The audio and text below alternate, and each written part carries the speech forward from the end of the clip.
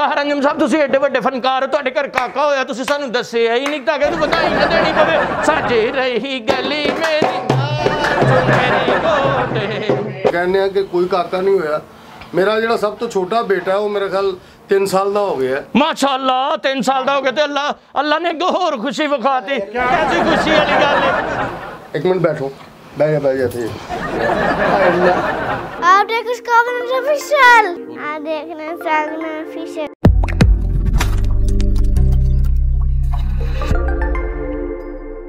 ਅਸਲਾਮ ਅਲੈਕੁਮ ਪਿਆਰੇ ਦੋਸਤੋ, ਮੈਂ ਤੁਹਾਡਾ ਆਪਣਾ ਸਖਾਵਤ ਨਾਜ਼। ਅੱਜ ਤੁਹਾਨੂੰ ਕਿਸੇ ਹੋਰ ਗੈਟਅਪ 'ਚ ਨਜ਼ਰ ਆ ਰਹੇ ਹਾਂ ਕਿ ਪ੍ਰੈਂਕ ਕਰਨ ਵਾਸਤੇ ਆਏ ਸੀ। ਬਹੁਤ ਹੀ ਸਟੇਜ ਔਰ ਟੈਲੀਵਿਜ਼ਨ ਦੇ ਮਸ਼ਹੂਰ ਫਨਕਾਰ ਤਾਹਰ ਅੰਜਮ ਸਾਹਿਬ ਦੇ ਘਰ।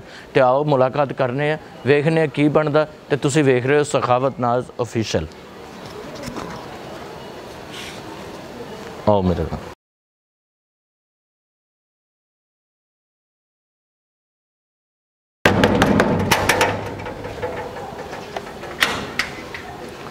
अस्सलाम वालेकुम ए ताहिर अंजम साहब का घर है ये हाँ जी जी बड़ी मेहरबानी थैंक यू ਬੱਚੇ यहाँ कहाँ आ ਨਹੀਂ ਜੇ ਬਾਤ ਕਰਨੀ ਹੈ ਨਾ ਤਾਹਰ ਅੰਜਮ ਸਾਹਿਬ ਸੇ ਮਿਲਣਾ ਅਸੀਂ ਬੜੇ ਉਹਦੇ ਵੱਡੇ ਫੈਨ ਹਾਂ ਤੇ ਅਸੀਂ ਉਹਨੂੰ ਲੱਭਣ ਆਏ ਹਾਂ ਤੇ ਅਸੀਂ ਉਹਨੂੰ ਮਿਲਣ ਆਏ ਹਾਂ ਮੁਬਾਰਕ ਹੋਵੇ ਹਾਏ ਜਿਵੇਂ ਕਾਕਾ ਤਾਹਰ ਅੰਜਮ ਸਾਹਿਬ ਦੇ ਘਰ ਕਾਕਾ ਹੋਇਆ ਸਾਨੂੰ ਕਿਸੇ ਨੇ ਦੱਸਿਆ ਹੀ ਨਹੀਂ ਸਾਜੇ ਲਈ ਗਲੀ ਮੇਰੀ ਮਾਂ ਸੁਨਹਿਰੀ ਗੋਟੇ ਮੇ ਸਾਜੇ ਰਹੀ ਗਲੀ ਮੇਰੀ ਮਾਂ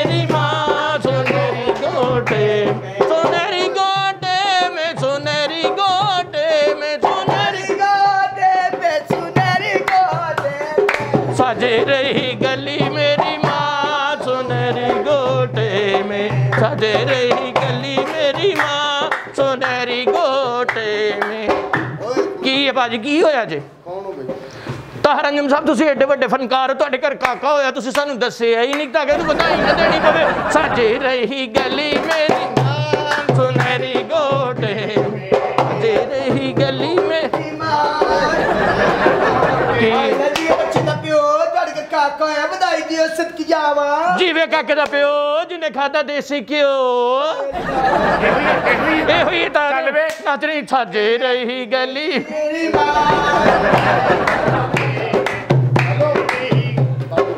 ਕੀ ਬੰਦ ਕਰੀਏ? ਕਾਕਾ ਹੋਇਆ ਕਿਉਂ? ਲੁਕਾਉਂਦੇ ਸਾਨੂੰ ਅੰਦਰ ਜਾਣ ਦੇ ਅਸੀਂ ਕਾਕੇ ਦਾ ਕਾਕੇ ਦਾ ਮੂੰਹ ਵੇਖਣਾ ਚੰਨ ਵਰਗੇ।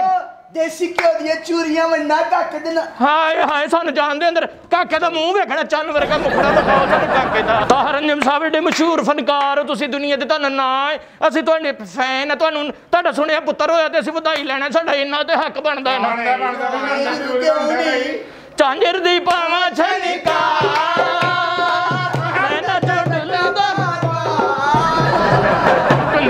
پنهنجي ڇنڪا.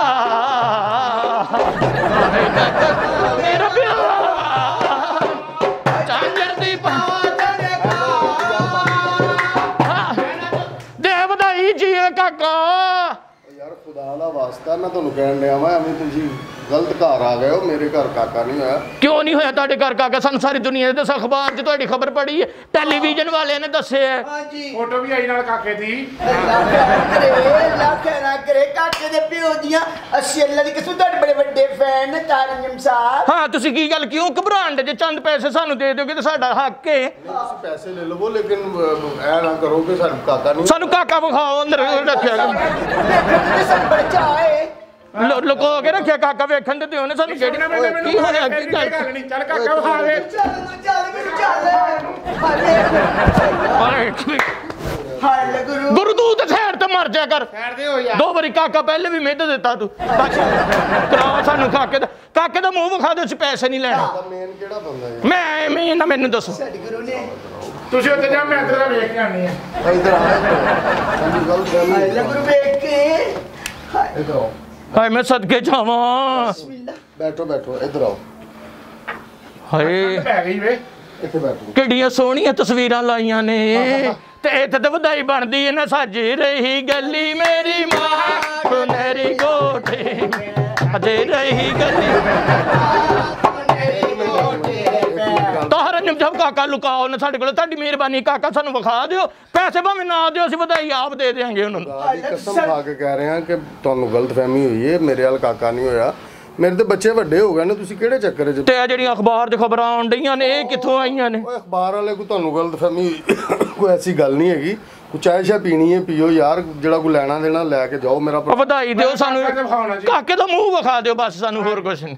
ਕਿਤੇ ਅੰਦਰ ਰੱਖਿਆ ਬਿਠਾਇਆ ਯਾਰ ਕੀ ਕਰਦੇ ਪਏ? ਹਾਏ ਲੈ ਸਾਨੂੰ ਲੋਏ ਚਲੀ ਕੇ ਸਾਨੂੰ ਲੋਕਾਂ ਨੇ ਦੱਸਿਆ ਇੱਧਰ ਕਾਕਾ ਹੋਇਆ ਹੈ। ਤੁਸੀਂ ਕਿਉਂ ਲੁਕਾ ਰਹੇ ਕਾਕੇ ਨੂੰ ਸਾਨੂੰ ਵਧਾਈ ਕਿਉਂ ਨਹੀਂ ਦੇਂਦੇ ਤੁਸੀਂ ਮੈਂ ਤੁਹਾਨੂੰ ਕਹਿੰਦੇ ਆ ਕਿ ਕੋਈ ਕਾਕਾ ਨਹੀਂ ਹੋਇਆ। ਮੇਰਾ ਜਿਹੜਾ ਸਭ ਤੋਂ ਛੋਟਾ ਬੇਟਾ ਉਹ ਮੇਰੇ ਖਿਆਲ 3 ਸਾਲ ਦਾ ਹੋ ਗਿਆ ਹੈ। ਮਾਸ਼ਾਅੱਲਾ 3 ਸਾਲ ਦਾ ਹੋ ਗਿਆ ਤੇ ਅੱਲਾ ਅੱਲਾ ਨੇ ਅੱਗੋਂ ਹੋਰ ਖੁਸ਼ੀ ਵਿਖਾਤੀ ਕੈਸੀ ਖੁਸ਼ੀ ਵਾਲੀ ਗੱਲ ਹੈ ਜਾ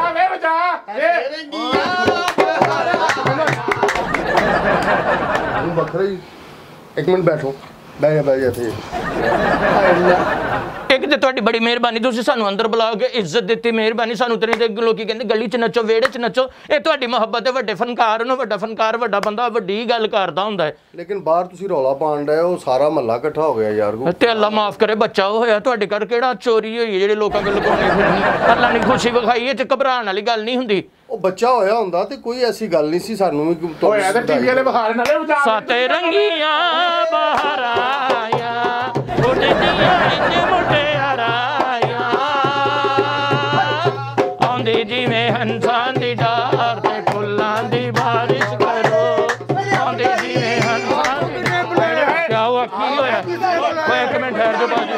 ਆ ਭਾਜੀ ਗੱਲ ਤੇ ਸੁਣੋ। ਓਏ ਇੱਕ ਮਿੰਟ ਗੱਲ ਤੇ ਸੁਣੋ ਜਾ। ਫਿਰ ਆਰਾਮ ਨਾਲ ਗੱਲ ਕਰੋ ਕੋਈ ਆ ਗਈ। ਓਏ ਇੱਕ ਮਿੰਟ ਇੱਕ ਮਿੰਟ। ਸ਼ੋਰ ਘੱਟ ਕਰੋ। ਓਏ ਇਹ ਕਾਕਾ ਹੋਇਆ? ਇੱਕ ਮਿੰਟ। ਤਾਰੰਜਮ ਸਾਹਿਬ ਇਹ ਕਿਹੜੀ ਗੱਲ ਤੁਸੀਂ ਇੱਕ ਇੱਕ ਮਿੰਟ ਖਲੋਵੇ ਤੇਰਾ ਪਹਿਲੇ ਲੋਡ ਘੱਟ ਹੋਣ ਡਿਆ ਤੂੰ। ਮੇਰਾ ਇਹ ਇਹ ਕਿਹੜੀ ਗੱਲ ਹੋਈ? ਤਾਰੰਜਮ ਸਾਹਿਬ ਤੁਸੀਂ ਅੰਦਰ ਬੁਲਾ ਕੇ ਹੁਣ ਬਿਜ਼ਤ ਬਿਜ਼ਤ ਕਰਨ ਦੇ ਜੇ? ਨਹੀਂ ਮੈਂ ਮੈਨੂੰ ਤਾਂ ਪਤਾ ਹੀ ਨਹੀਂ ਕਿ ਨੀਂਦਰ ਖਰਾਬ ਕਰਦੀ ਤੁਸੀਂ ਮੈਨੂੰ ਮੈਂ ਇਹ ਯਕਦਮ ਵੇਖਿਆ। ਹਾਏ ਹਾਏ ਅਸੀਂ ਤੁਹਾਡੀ ਨੀਂਦਰ 'ਚ ਮੋਰੀਆਂ ਕਰਤੀਆਂ। ਚੰਗੇ ਭਲੇ ਖਾ ਦੇ ਕੰਨੇ ਦੇ ਥੱਲੇ ਖੁਸ਼ੀ ਵਿਖਾਈਏ ਸਾਡਾ ਹੱਕ ਬਣਦਾ ਵਧਾਈ ਦਿਓ। ਦਿਓ ਪੈਸੇ ਸਾਨੂੰ ਅਸੀਂ ਜਾਈਏ ਸੱਸੀ ਤੇ ਕਿ ਲੈਣ ਆਉਣਾ ਜੇ? ਜਦੋਂ ਪੁੱਤਰ ਆਇਆ ਤਾਂ ਪਤਾ ਨਹੀਂ ਕਿ ਸਾਡੇ ਵਰਗੇ ਨੇ ਵੀ ਆਣਾ ਇੱਥੇ। ਆ। ਬਾਹਰ ਕੱਢ ਜਾ ਸਾਡੀ ਬਾਤ ਉਹ ਤਮੀਜ਼ ਨਾਲ ਗੱਲ ਕਰੀ ਤੇ ਹੁਣ ਇੱਕ ਮਿੰਟ। ਖਬਰਦਾਰ ਘਬਰਾਈ ਵਿਖਾ ਦੇ ਮੈਨੂੰ ਬਸ। ਸਾਡੀ ਬਾਤ ਦੁਆ ਤੂੰ ਬੱਚੋ। ਇੱਕ ਬਿੱਲੀ ਦੀ ਸੱਤ ਅਸਮਾਨ ਤੇ ਬਾਤ ਦੁਆ ਜਾਂਦੀ ਤੇ ਸਾਡੇ ਲੋਕਾਂ ਦੀ ਸੱਤ ਅਸਮਾਨ ਤੇ ਬਾਤ ਦੁਆ ਜਾਂਦੀ। ਹਾਂ ਸਾਡੇ ਕੋਲ ਇੱਕ ਸਾਡੇ ਕੋਲ ਇੱਕ ਬਿੱਲੀ ਸੀ ਉਹ ਹੀ ਸੱਤ ਅਸਮਾਨ ਤੇ ਚਲੀ ਗਈ ਸੀ। ਮੈਂ ਤਾਂ ਬਹੁਤ ਕਰਨੀ ਸੀ ਯਕੀਨ ਕਰੋ ਜੇ ਤੁਸੀਂ ਖਵਾਜਾ ਤੇ ਹੁੰਦਾ। ਕੀ ਕਰੋਗੇ ਤੁਸੀਂ ਇਹ ਨਾ ਕਰੋ ਸਾਨੂੰ ਵਧਾਈ ਦਿਓ ਤਾਰੰਗਮ ਸਾਹਿਬ ਧੱਕੇ ਮਾਰਨ। ਇੱਕ ਮਿੰਟ। ਦੇਣਾ। ਅਸੀਂ ਵੀ ਹਾਂ ਖਬਰਦਾਰ ਜੇ ਸਾਨੂੰ ਹੱਥ ਲਾਇਆ ਤੇ ਹੱਥ ਨਾ ਲਾਈ ਵੇ ਤੈਨੂੰ ਮੈਂ ਦੱਸਾਂ ਮੇਰੀਆਂ ਕੁੜੀਆਂ ਨੂੰ। ਤੈਨੂੰ ਮੈਂ ਦੱਸ ਦਿੱਤਾ ਈ। ਇਹੋ ਜਿਹਾ ਬੰਦਾ ਬੁਲਾਇਆ ਜਿਹਦਾ ਤੇ ਇੰਜਨ ਵੀ ਸਟਾਰਟ ਨਹੀਂ ਹੁੰਦੇ ਸਜੇ ਰਹੀ ਗਲੀ ਮੇਰੀ ਮਾਂ ਸੁਨਹਿਰੀ ਗੋਟੇ ਮੇ। ਸਜੇ ਰਹੀ ਗਲੀ ਮੇਰੀ ਮਾਂ ਸੁਨਹਿਰੀ ਗੋਟੇ ਮੇ। ਸਜੇ ਰਹੀ ਵਧਾਈ ਦਿਓਗੇ ਤੇ ਤੁਸੀਂ ਜਾਣਾ ਜੇ। ਯਾਰ ਗੱਲ ਸੁਣੇ। ਅਸੀਂ ਵੀ ਬਗੈਰ ਜਾਣੇ ਗੁਰੂ। ਚੁੱਪ ਕਰ। ਜੀ ਹੋਇਆ ਹੋਈ ਨਾ ਵੱਡੇ ਲੋਕਾਂ ਵਾਲੀ ਗੱਲ। ਹਾਂ ਹਾਂ ਸਿਰਫ 500 ਰੁਪਈਆ। ਉਹ ਮੈਂ ਜੇ 1500 ਰੁਪਈਆ ਤੇ ਸਾਡਾ ਹੱਥੋਂ ਲੱਗ ਗਿਆ। ਦਾ ਪਾਣੀ ਆ ਜਾਂਦੇ ਨੇ ਚਲੋ ਚਲੋ ਜਾਓ। ਯਾਰ ਕਿੱਥੇ ਚੱਲੇ ਮੁੰਡਾ ਤੇ ਵਿਖਾ ਦੇ। ਓਏ ਏਡੇ ਵੱਡੇ ਫਨਕਾਰ ਕਿਹੜਾ ਹੋਇਆ ਮੁੰਡਾ? ਹਾਂ ਹੈ ਤਾਂ ਹਰੰਜਮ ਸਾਹਿਬ ਦੇ ਘਰੋਂ 500 ਰੁਪਏ ਦੀ ਵਧਾਈ ਆ। 5000 ਦੇਣਾ ਸੀ ਜੇ ਮੁੰਡਾ ਹੋਇਆ ਹੁੰਦਾ ਮੈਂ ਤੁਹਾਨੂੰ ਕਹਿਣ ਡਿਆ ਮੈਂ ਤੁਹਾਨੂੰ ਮੈਂ ਤੁਸੀਂ ਇਸ ਤਰ੍ਹਾਂ ਕਰੋ 5000 ਦੇ ਦਿਓ ਅਸੀਂ ਦੁਆ ਕਰਨੇ ਮੁੰਡਾ ਹੋ ਜਾਏਗਾ। ਤੁਹਾਡਾ ਆਮੀਨ ਸੁਮਾ ਆਮੀਨ ਤਾਰੰਜਮ ਸਾਹਿਬ ਪਰੇਸ਼ਾਨ ਕਿਉਂ ਹੋ ਗਏ? ਅਸਲਾਮ ਅਲੈਕੁਮ ਮੈਂ ਸਗਾਵਤ ਤੁਹਾਨੂੰ ਪਤਾ ਅੱਜ ਕੈਸਾ ਵੇ ਫੜਿਆ ਹੀ ਉਤੋਂ ਦੀ ਆ ਕੇ। ਬੈਠੋ ਤੇ ਸ਼ਰੀਫ ਰੱਖੋ। ਤਾਰੰਜਮ ਸਾਹਿਬ ਦੇ ਨਾਲ ਬੜੀ ਮਿਹਨਤ ਕਰਕੇ ਇੱਥੇ ਤੱਕ ਪਹੁੰਚੇ ਤੇ ਅੱਜ ਵੇਖ ਲਓ ਵੀ ਸੁੱਤਿਆਂ ਉਠਾਇਆ। ਇਹ ਤੁਹਾਡਾ 500 ਰੁਪਏ ਆਪਣੇ ਕੋਲ ਰੱਖੋ।